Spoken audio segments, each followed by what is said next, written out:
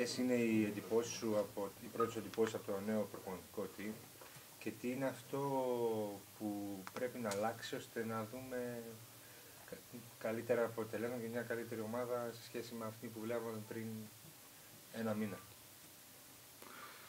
Ε, οι πρώτες μου εντυπώσεις είναι θετικές. Είναι ένα καινούριο team, μια καινούρια προσπάθεια. Ε, όσον αφορά τώρα το, το τι θα πρέπει να αλλάξουμε, νομίζω ότι είναι θέμα καθαρά προπονητή, όχι δικό μας. Ακόμα είμαστε στις πρώτες μέρες. Ε, φιλοσοφία του προπονητή σιγά σιγά περνάει στην ομάδα. Είναι μια δύσκολη προετοιμασία θα έλεγα.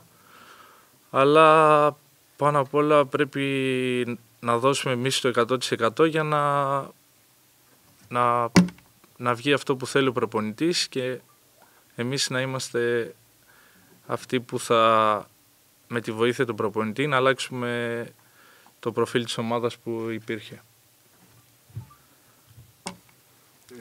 την εξειδικεύσω λίγο την ερώτηση όσο αφορά το προπονητικό επιτελείο. Σας βλέπουμε τουλάχιστον εμείς εδώ στην Ολλανδία σε αυτές τις τρεις πρώτες προπονήσεις. Ξεχωριστό πρόγραμμα, δεν έχετε μπει με μπάλα μέσα στην ομάδα δηλαδή οτιδήποτε άλλο.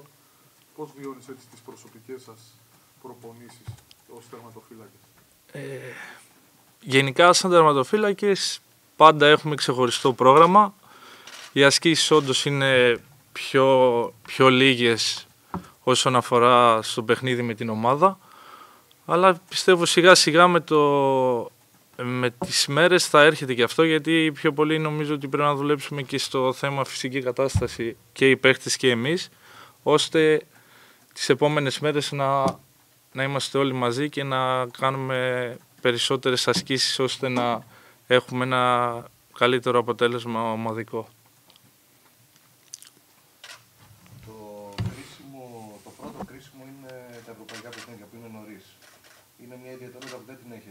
ξαναζήσει, τη ζείτε πρώτη φορά, ε, πώς την αντιμετωπίζετε και αν μπαίνετε στη λογική ότι θα πρέπει να είναι σαν παιχνίδια προετοιμασίας ή την απορρίπτετε αυτή τη λογική και θεωρείτε ότι είναι ούτως ή άλλως κρίσιμα, άρα πρέπει να είστε και έτοιμοι. Σίγουρα είναι κάτι πρωτόγνωρο για την ομάδα. Ε, είναι η πρώτη φορά νομίζω που από τότε που είμαι εγώ εδώ μπαίνει σε αυτή τη διαδικασία να παίζει τόσο νωρίς κάποιο ευρωπαϊκό παιχνίδι. Ε, όχι, δεν θα έλεγα ότι είναι ένα φιλικό παιχνίδι. Τα φιλικά παιχνίδια ξεκινάνε από σήμερα και ολοκληρώνονται μέχρι πριν φύγουμε από εδώ. Ε, αυτό είναι ένα επίσημο παιχνίδι, ένα παιχνίδι που θα πρέπει να παρουσιαστούμε έτοιμοι και σοβαροί για να συνεχίσουμε στην Ευρώπη όπου και είναι ο στόχος μας να περάσουμε και να μπούμε στους ομίλους.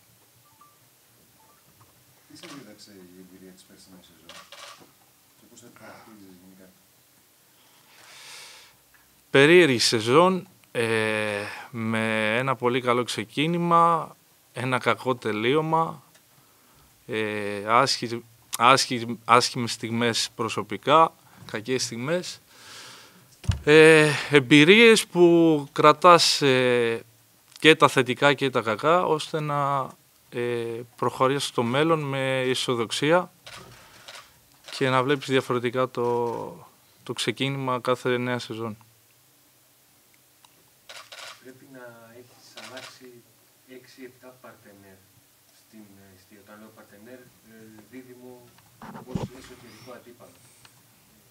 Κάθε φορά ποιο είναι, πώς εισπράττεις αυτή την, την αλλαγή, αν την βλέπεις ως έναν αντίπαλο που θα σου πάρει τη θέση ή ως έναν παίκτη που θα σε κάνει καλύτερο. Πρώτα απ' όλα το βλέπω σαν ανταγωνισμό.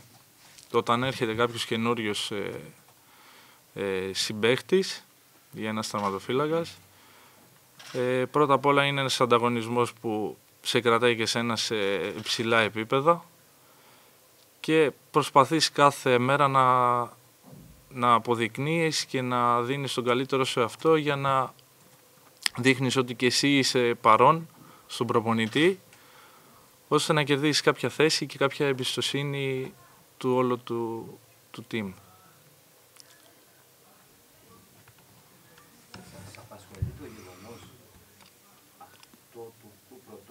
διαδικασίας έναρξη των ευρωπαϊκών υποχρεώσεων από την άποψη ότι κανονικά 16 Ιουλίου αποκλείεται καμία ομάδα δεν είναι έτοιμη.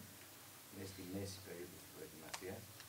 Και πώς, ποια είναι η άποψή σου, πώς πιστεύεις ότι μπορεί να το αντιμετωπίσει ο Παύλ για να μην έχει πρόβλημα; Ε, πιστεύω ότι δεν θα υπάρξει κάποιο πρόβλημα γιατί από τη στιγμή που ξεκινήσαμε ξέραμε ότι θα είναι 16 μηνός το πρώτο μας επίσημο, οπότε δουλεύουμε πάνω σε αυτό. Η προετοιμασία μας γίνεται με το πλάνο το ότι το πρώτο παιχνίδι είναι νωρίς. Οπότε με το σκεπτικό το ότι προπονητές, όλο το επιτηλείο έχει δουλέψει πάνω σε αυτό, νομίζω ότι δεν θα υπάρχει κάποιο πρόβλημα και πιστεύω ότι θα πάνε όλα καλά. αν θες ε, να σε γυρίσω λίγους μήνες πίσω, αν δεν κάνω λάθος, το τελευταίο σου μάτς πέρυσι ήταν στο Ηράκλειο; Ναι. Γιατί δεν έπαιξε με το Γλύκος. Αν θες να μας το ξεκαθαρίσεις τι συνέβη στους τρεις-τέσσερις επόμενους μήνες και δεν έχει καμία συμμετοχή σχεδόν και στην αποστολή. Στην αποστολή κάποιες πρέπει να είχες.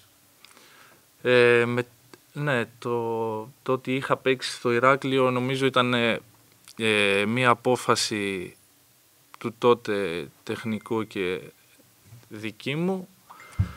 Ε, είχα επιστρέψει μετά από έναν τραυματισμό που είχα. Ήμουνα κάποιο καιρό εκτός. Ε, είχα αντιμετωπίσει πάλι ένα πρόβλημα που εμφανίστηκε μετά την έναρξη τέλος πάντων τον της ε, κατάστασής μου μετά τον τραυματισμό. Ε, δεν ήμουνα 100% είναι η αλήθεια αλλά επειδή ήθελα να βοηθήσω και να επανέλθω, ήταν μάλλον λάθος και δικό μου, το ότι αποφάσισα να αγωνιστώ σε εκείνο το παιχνίδι και από εκεί και πέρα μετά το παιχνίδι του, ε, της Κρήτης ήταν ακόμα μία αποστολή νομίζω που παίζαμε τον Ολυμπιακό, ήμουνα κανονικά στην αποστολή. Η αλήθεια είναι ότι δεν είχα καλή απόδοση στο παιχνίδι ώστε να συνεχίσω να κρατήσω τη θέση μου μετά, το, μετά το, την επιστροφή μου του τραυματισμό. Ήταν και η ενοχλήση που είχα στο γόνατο μετά από μια μαγνητική που, που είχα κάνει έδειξε ότι είχα όντως ένα πρόβλημα. Έμεινα κάποιο καιρό έξω γιατί έπρεπε να καθίσω και να, να, να κάνω θεραπείες ώστε να είμαι μετά ε, και πάλι 100%.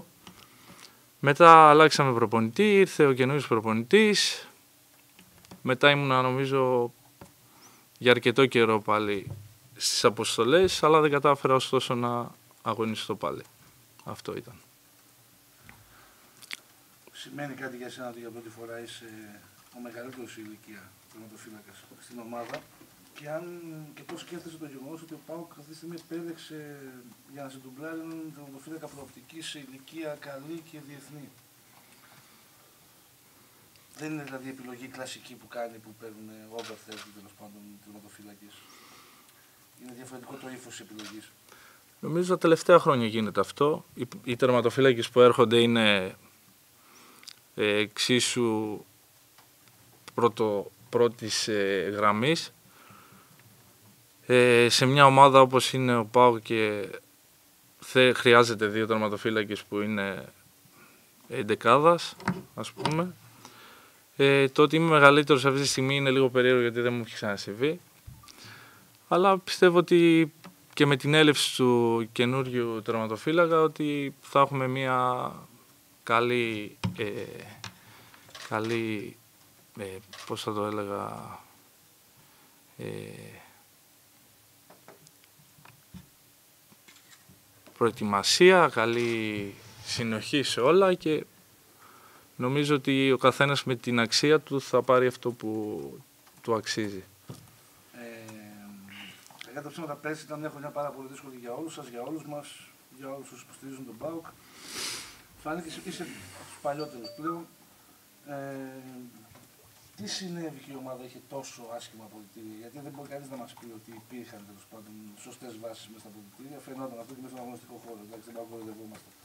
Τι συνέβη και αυτό το πράγμα δεν δούλεψε, τι έγινε και ο Πάουκ δεν είχε την ψυχολογία να κερδίσει ακόμα και ομάδες που είχαν το 1 δέκατο του μπάζι. Θεωρώ ότι όχι μόνο σε μία ομάδα και σε ένα σπίτι όταν όλα, είναι, όλα πηγαίνουν καλά και δεν υπάρχουν προβλήματα, όλοι είναι χαμογελαστοί, δεν υπάρχει τίποτα. Όταν αρχίζει όμως το, το παιχνίδι ή τα προβλήματα εμφανίζονται, το θέμα είναι ότι πώς το διαχειρίζεται ο καθένας. Και αν ε, ο καθένας μπορεί να, να βγει μπροστά ότι ναι, πολύ απλά έκανα λάθος εγώ και δεν μπορεί να και δεν ρίχνει τα, τα λάθη σε άλλους. Ψάχνει να βρει δικαιολογίες. Πιστεύω ότι η δικαιολογία ε, ήταν σε μεγάλο βαθμό και ότι δεν υπήρχαν ε, κάποιοι που να έβγαιναν μπροστά και να έλεγαν ότι όντως και εμείς φταίμε. Εντάξει, ήταν λίγο υπερήργη η κατάσταση. Ε, βασικά και προσωπικά θα ήθελα να την ξεχάσω την περσινή χρονιά και θα ήθελα να αλλάξω σελίδα και να πω ότι ε, στο ποδόσφαιρο υπάρχουν άσχημες στιγμές και καλές οπότε μια καινούργια νέα σεζόν είναι αυτό που μου δίνει δύναμη για να συνεχίσω. Για να το κολλήσω λίγο εδώ, sorry. Σώζονται αυτά τα αποδητήρια. Πολλά παιδιά είστε τα ίδια. Εντάξει. Ο, ο παδός του πώς θα σκεφτεί ότι αυτοί πέρσι δεν μπόρεσαν να λειτουργήσουν; Φέτος πώς θα γίνει να λειτουργήσουν; Νομίζω ότι ο καθένας είναι και πόσο θέλει να, να αλλάξει αυτό όλο το και να ξεχάσει το τι γινόταν και να, να προσπαθήσει να μην ξαναγίνουν τα ίδια λάθη. Ε, νομίζω όλοι μαζί ότι έχουμε καταλάβει τα λάθη μας και προσπαθούμε να τα αλλάξουμε ώστε να έχουμε μια καλύτερη συνέχεια. Πρέπει να το ρωτήσουμε γιατί εντάξει, και η δική σου άποψη μετράει. Γιατί νιώθεις ότι 4-5 συγκεκριμένοι Έλληνες παίκτες του ΠΑΟΚ είναι στο επίκεντρο της κριτικής από τον κόσμο, δέχονται τα πιο πολλά πειρά, δέχονται προσωπικές επιθέσεις και μέσα αυτούς είσαι και εσύ. Έχεις, ε, το έχεις σκεφτεί πώς και γιατί; Τώρα, ε, συγκεκριμένα, δεν έχω κάποια άποψη που θα μπορούσα να εκφράσω. Ε, είναι περίεργη όντως η κατάσταση, είναι κάποια παιδιά που ε, δεχόμαστε κριτικές ε, περισσότερο από κάποιους άλλους. Σε αυτό προσωπικά εμένα θα έλεγα μερικές φορές ότι μου δίνει και περισσότερη δύναμη ώστε να είμαι πιο συγκεντρωμένος ή κάθε φορά να, να, προσπαθ, να προσπαθώ να ε, δείχνω και να ότι δεν ισχύει τέλος πάντων η κριτική που δέχομαι. Εντάξει, πολλές φορές όμως ε, υπάρχουν και τα λάθη στο ποδόσφαιρο. Και στη θέση τη δική μου προσωπικά θα έλεγα ότι τα λάθη πληρώνονται και φαίνονται περισσότερο. Και πιστεύω ίσως και αυτό να είναι λίγο η θέση μου να, να δείχνει αυτή την περισσότερη τη, την κριτική. Και μακάρι στη συνέχεια να μην υπάρχει. Παναγιώτη, υπήρξαν στιγμές πέρυσι που ένιωσες άποψο. Απέναντι Να ρωτήσω. Υπήρχαν στιγμές πέρυσι Παναγιώτη που ένιωσες απροστάτευτος; Ένα παράπονο ρε παιδί μου. Δηλαδή κρεμασμένος, δεν υπάρχει Παράπονο δεν θα έλεγα. Δεν θα το εξέφραζα. Απλά εντάξει. Ε, ο καθένας έχει, ε, έχει στην ίδια κατάσταση έχει βρεθεί. Όχι μόνο φέτος, αλλά τι να κάνουμε. Ζούμε σε αυτή την ομάδα εδώ και χρόνια, ξέρουμε ότι είναι η κατάσταση αυτή. Δεν, ε, δεν με ενοχλεί αυτό, δεν θα έλεγα ότι με ενοχλεί.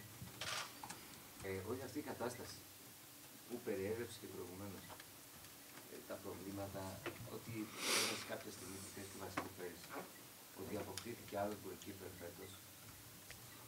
Σε φυσμόνι αυτό, ενώ της νέας χρονιάς, ποιες είναι οι σκέψεις σου, οι φιλοδοξίες Ε, ούτως ή άλλως, εφόσον δύο παιδιά δεν υπάρχουν πλέον στην ομάδα, η ομάδα θα, θα έπαιρνε κάποιον αντικαταστάτη. Αυτό ήταν το μόνο σίγουρο. Ε, προσωπικά, σίγουρα, με πεισμώνει αλλά με δυναμώνει παράλληλα, ώστε να έχω μία, ε, μία απόδοση και μία ε, προοπτική να δώσω περισσότερα. Γιατί η έλευση ενός καινούριου τερματοφύλακα, όπως είπες και εσύ, μπορεί να με πεισμώσει και να μου δώσει περισσότερα κίνητρα. Διαπιστώνω μέχρι τώρα την, τη μη διάθεση όσων τοποθετούνται από την ομάδα να μην, ε, να μην μιλάνε για, για το στόχο της σεζόν. Είναι διότι τα τελευταία χρόνια μιλήσαν αρκετά και δεν μπόρεσαν να πετύχουν κάτι είναι γιατί κάνετε ένα βήμα πίσω για να δείτε ποιοι είστε και πού μπορείτε να πάτε.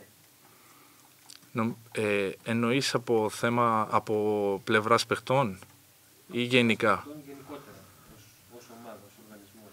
Ε, νομίζω ο στόχος ε, πρώτα απ' όλα ε, δίνεται από κάποιον ε, πιο αρμόδιο από μας και μετά εμείς εκφέρουμε την, τη δεύτερη γνώμη. Ε, τώρα πιστεύω ότι νομίζω έχουμε καταλάβει ποιος είναι ο στόχος της φετινής χρονιάς. Γιατί τα προηγούμενα χρόνια ήταν ένας ο στόχος που λέγαμε πάντα ότι πάμε για κάτι ουσιαστικά όμως από το Δεκέμβριο και μετά δεν, ισχύει, δεν ίσχυε, ίσχυε μάλλον αυτός. Νομίζω τώρα είναι κάτι πιο ξεκάθαρο με τις ε, επιλογές που έχουν γίνει και με τις ε, ε, με, τον, με τις επιλογές των ανθρώπων μάλλον που βρίσκονται στην ομάδα. Νομίζω είναι ένα πλάνο που στα επόμενα χρόνια μπορεί να φέρει κάτι που τα προηγούμενα χρόνια δεν το είχαμε. Ε, πρωτεύουν στόχος θα έλεγα εγώ, το, σε αυτό που μπορώ να σου απαντήσω είναι η Ευρώπη, που ξεκινάμε τόσο νωρίς και θέλουμε να, να είμαστε παρόν στη διοργάνωση των ε, ομίλων.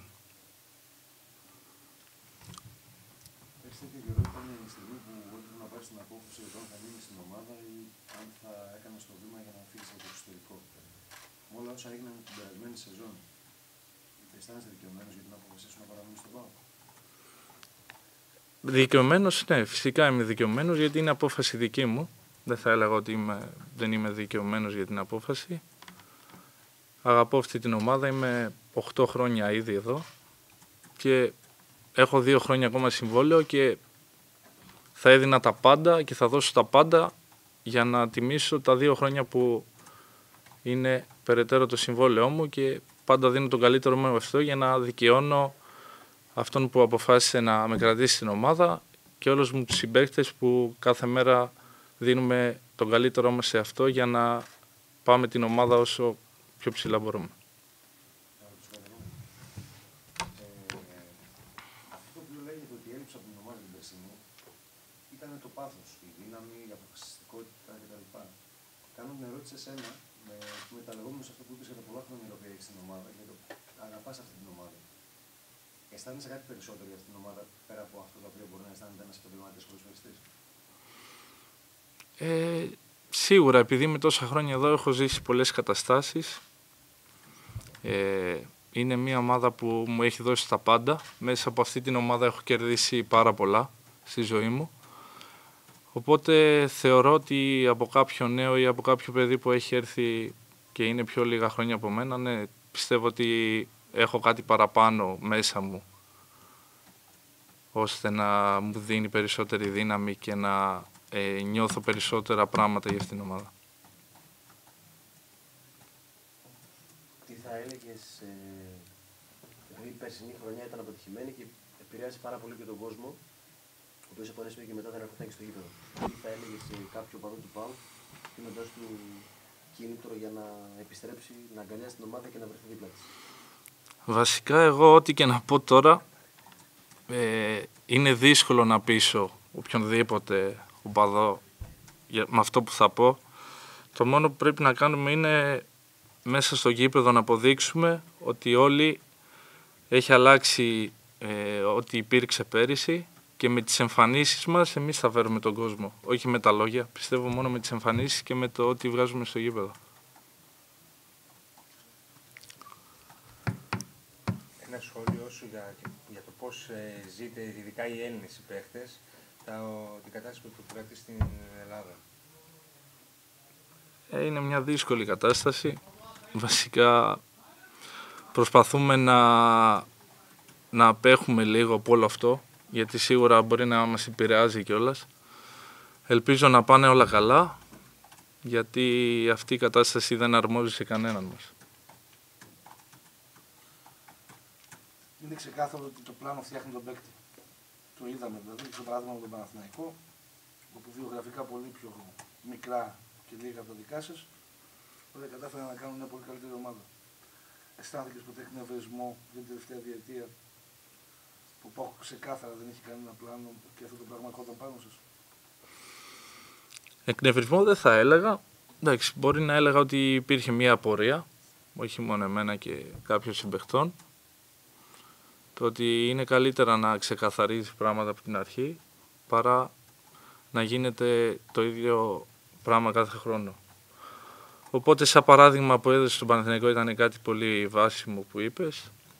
Θεωρώ ότι είναι κάτι αξιόλογο αυτό για τις ομάδες που θέλουν ε, όντως ε, να διεκδικούν ε, κάτι καλύτερο και να έχουν τους στόχους αυτούς που, έχουμε, που θα θέσουμε μάλλον ή έχουμε θέσει για τα επόμενα χρόνια.